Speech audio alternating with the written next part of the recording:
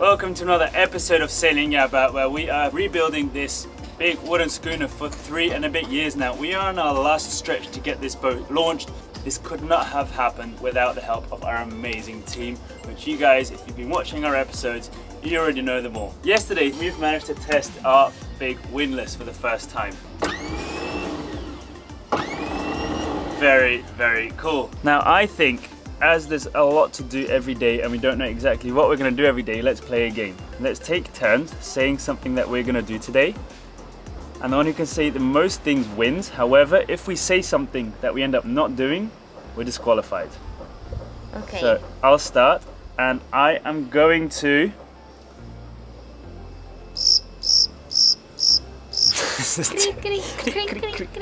Back when I installed this, I thought it was going to be so unnecessary to have, but with this sun and also the rain, it is a massive, massive help. And I can't wait to have these shrouds installed, which is going to be one of my next jobs because it's quite a necessity to have them. I have to confess, I was even quite against this bimini because I thought it looked like Yaba was wearing a silly party hat. But I was wrong because now when I see it from far, I think it looks super nice. And the shade it gives, it's very, very cool. I want to measure how big we want the name of Yaba to be Okay. because I might have something in mind for that. Where is it going to go? Yeah. Like Uh, yeah. 35 centimeters? Yeah. 33.6. You mean it? No. I wish I was that much of a perfectionist sometimes. Nice t-shirt. Job one of today done. So yeah, next thing, let's go. Some adjustments are needed in order for this to fit. So I'm gonna work on this little piece of wood so we can finally have it here. Something like that is the end product that I'm envisioning. I was getting ready to do it, but imagine if I mess up and I ruin all the effort the band has put here. So I think I'm gonna ask him to do it. So if he messes up, at least he's messing up his own work and not me. You. You do the rest.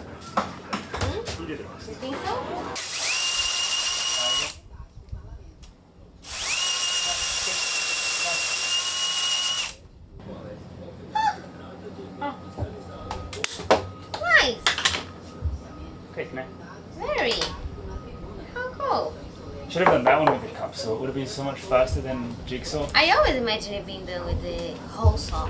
Now I think I'm gonna add another layer of varnish, let that dry, and then I can install in place. Oh, that's nice, man.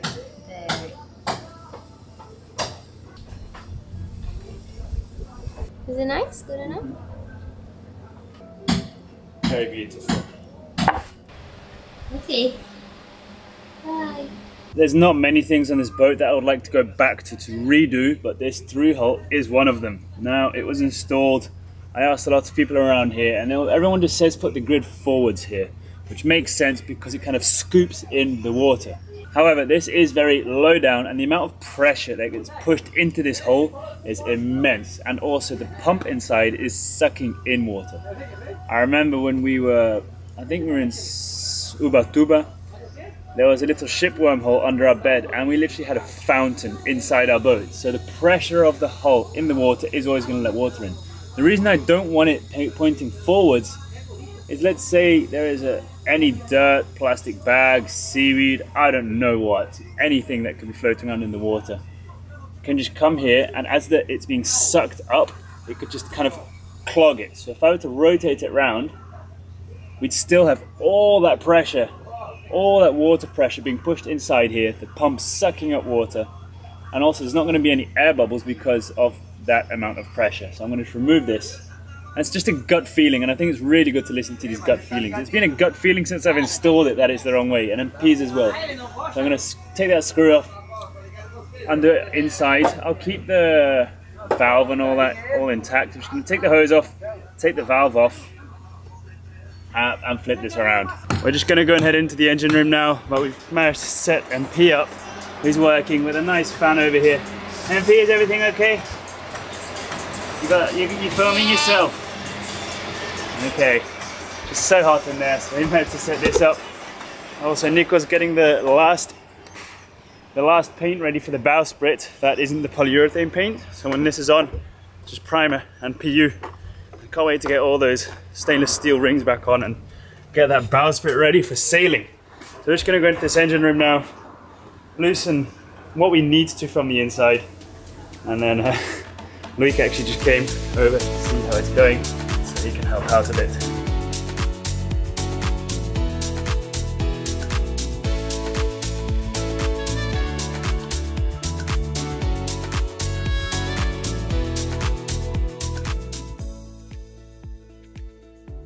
I can tell you that liquid gasket definitely works. And I wouldn't recommend putting it if you want to remove it anytime soon. But this is coming off. I thought we could maybe drop it, turn it and add more Sika. But it is way better to just take it completely off, clean it all, prep the surfaces and do it again because you don't want to mess with the hole that low down under the waterline.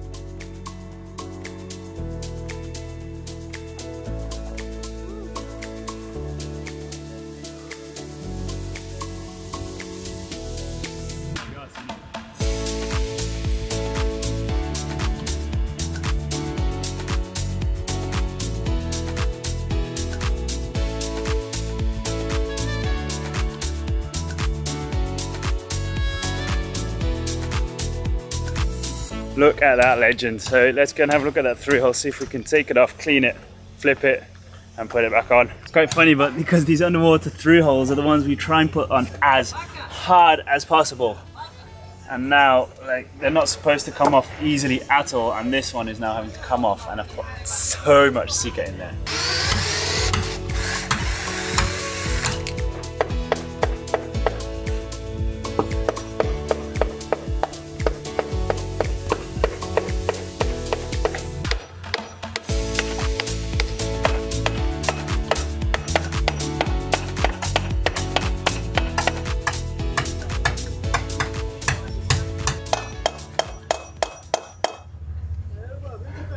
This is one of those things that I feel like it's going to take absolutely all day, but let's try and get this done.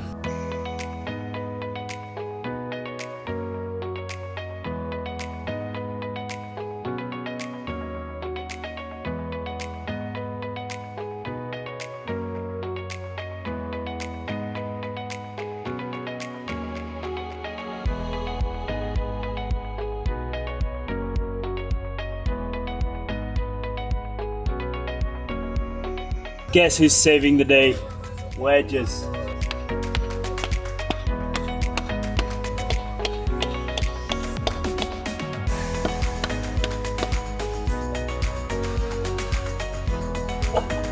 yeah, so get it.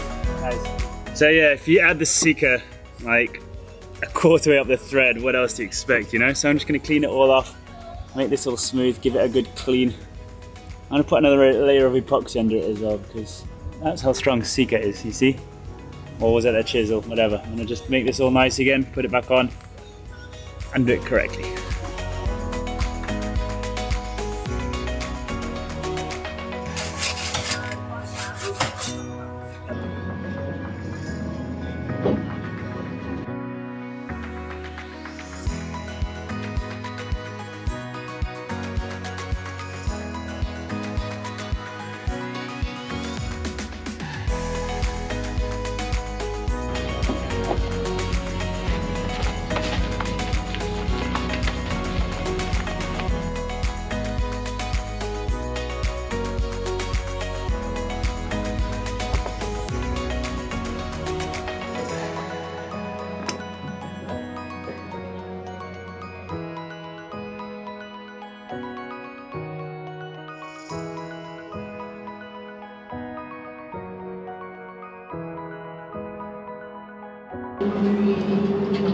Okay, are you looking at what I am looking at?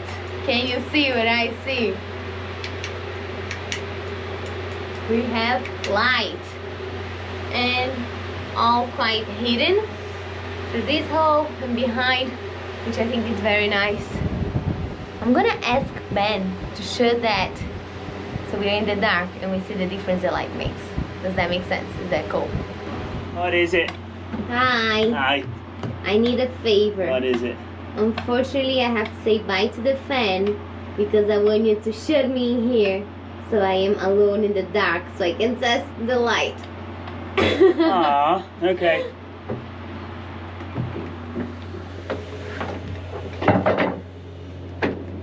Bye. Bye.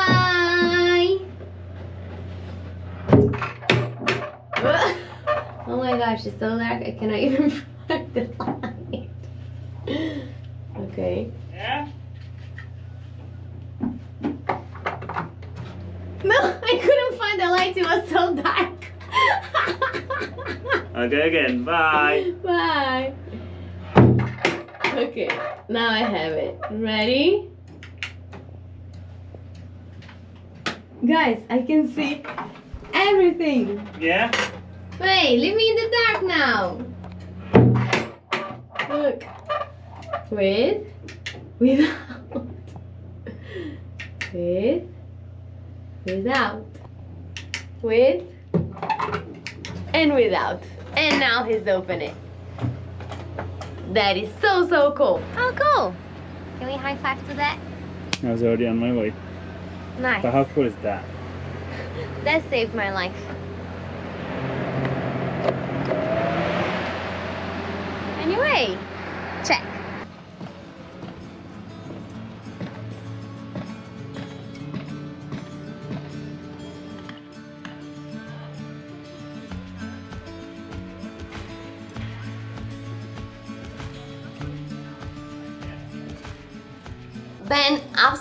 Absolutely hates lists and I cannot live without lists. So I really like writing down things I have to do so I can keep track of that.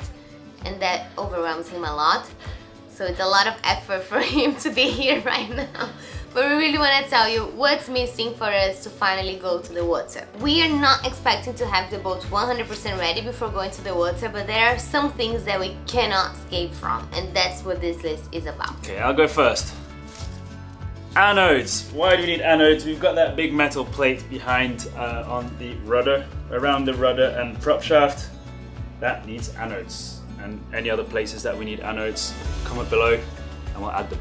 We'll add node them. What else missing under the water line? The anti-fouling. We don't want to go to the water without having our anti-foulings so our boat doesn't get eaten again. Stays, shrouds, stainless steel wires speak for themselves. Anything that holds a mast up or keeps the standing rigging strong.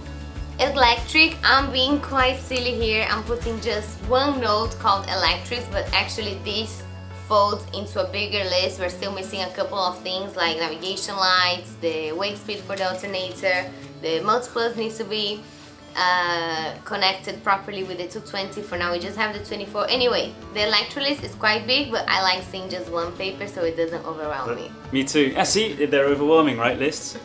Fuel return. Our diesel tanks are our diesel tanks are feeding our engine now, but we need to have the fuel return that goes from the engine back to the diesel. we need to have that properly for now we just have uh, That little jerry Uh, can. yeah. A prop knife. This is something that we have ordered. We just need to wait for it to arrive and install into place. So it doesn't really depend on us, but we don't want to go to the water without it. That's the knife that if any rope gets stuck in the propeller, it kind of spins and it cuts the rope itself. Yeah. Transducer. It is in place, but we need to connect it. Yes. And so we cannot get it off yet. and this goes together with probably some NMEA and stuff, so we'll keep that on until it's literally connected to the system. This, I think I wanted to keep this as a surprise, but well, it's here anyway. We're gonna have Wait, I dropped one.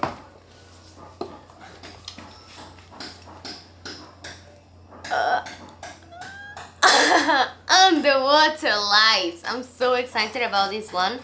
Uh, I used to think it was more of a luxury, but it actually, as we want to do night dives and it's just for safety, it's gonna be so cool to have them. And it looks very cool. It looks very cool. So you're gonna hate us for that, or you're gonna love us for it. And if you hate having underwater lights, we'll just flick them off sometimes for you guys, you know. okay, the whole primer actually comes before the anti-fouling, which is the bronze. Uh, just putting that on. That's the bronze coating before the anti-fouling. And I on. think this also is including like preparing the hull for the primer, so all that is in this little paper.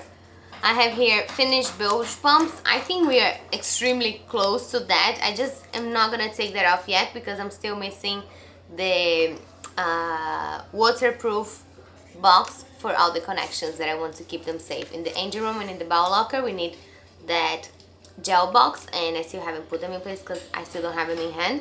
But then once that's done, this can be We gone. have- So it's just one step closer. Yeah. Like you see, bilge pumps included so many things and now it's just one thing that's keeping me from scratching this, but it's almost ready. We already have four chain plates installed now, all four chain plates of the shrouds of the main mast. We're still missing four chain plates of the foremast before we can start installing all the shrouds. Okay. Grounding. This is something that uh, I think we're still not sure on how to do it. We have a couple of options and we couldn't decide which one we like the most. So it's it's not on standby because we don't have the time for leaving things on standby, but it's kind of on standby until we make up our minds. So yeah, let us know what you think we should do as grounding or lightning deflection, not deflection, but you know what I mean? So do we have a, a copper plate fastened onto the boat? Do we attach it to the engine, which is the prop shaft as grounding or a through bar, a, a through, a through bolt through the hull? Uh, Or a cage with the shrouds, like Yeah, let us know what you think about that. Anchor.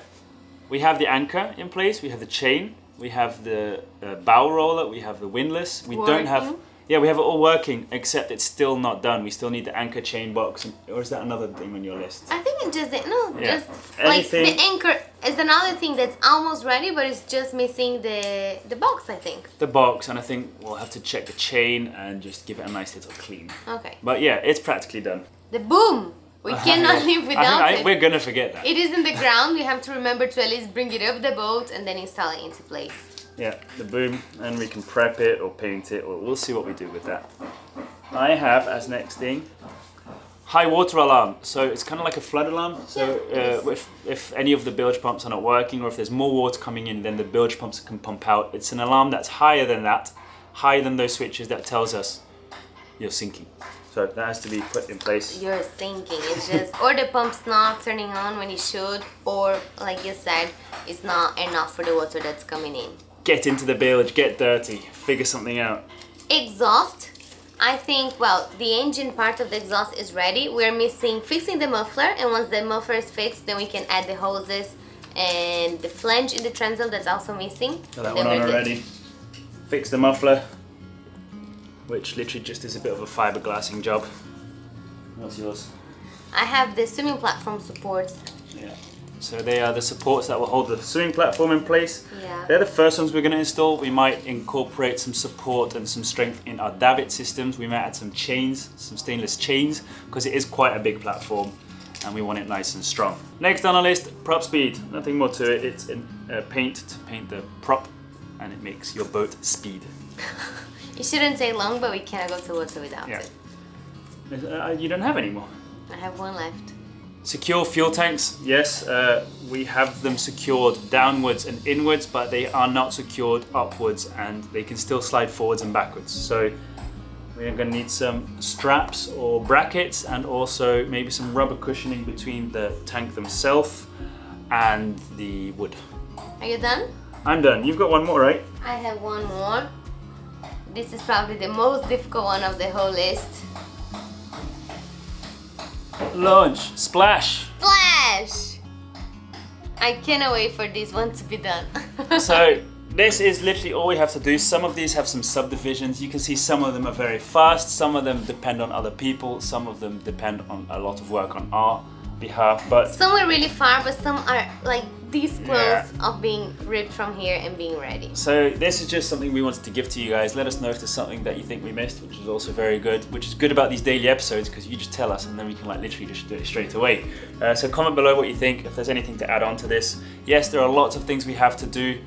Like na- uh, navigation lights. Oh, that's electric. They're inside Yeah. electric, Okay, yeah. we need all the uh, obligatory lighting, but of course we're going to launch. We can still work after all this list is done. When we're there, we can do a few more things, which is technically after this, and then we can head over to an anchorage or a mooring buoy and do more stuff, of course. But this is literally to get out of this shipyard. And now for this.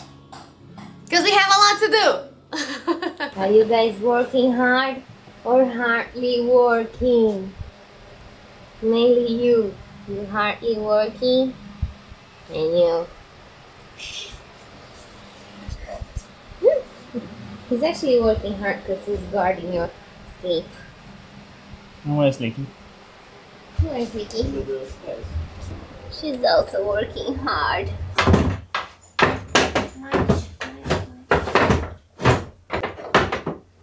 Okay. In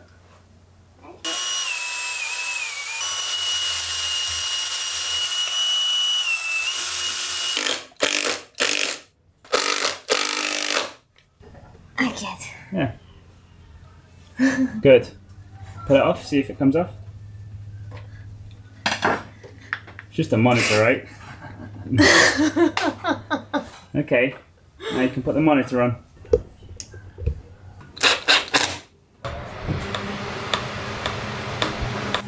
I didn't put the wire through. The wire has to go first.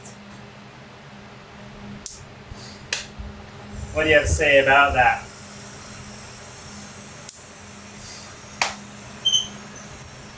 That was annoying. Why?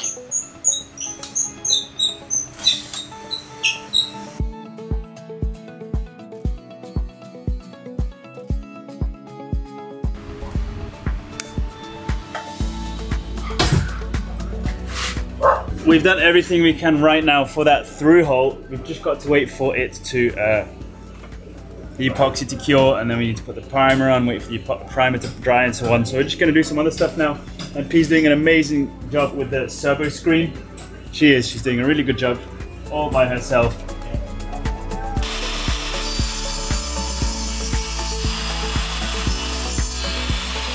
Ta-da! Ta-da! Cool. I'm gonna see if it fits now. Yeah. Nice. I can see you. Hello.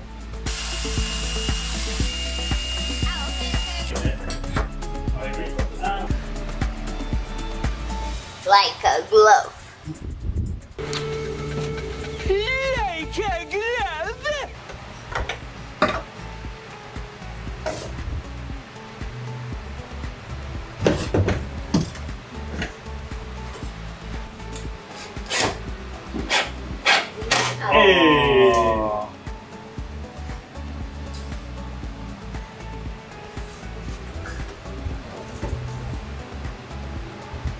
Cool is that?